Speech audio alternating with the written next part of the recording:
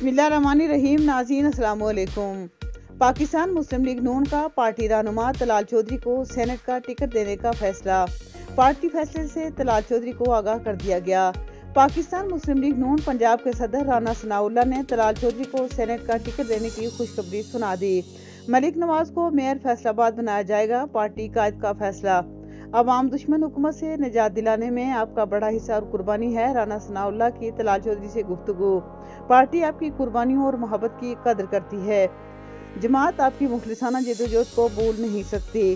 कौमी असम्बली का टिकट न देने का मतलब आपको नज़रअंदाज करना नहीं। राना सनाउल्ला की तलाल चौधरी से गुफ्तगु। रिपोर्ट, सीनियर एंकर पर्सन मियाँ Zeeshan City five news H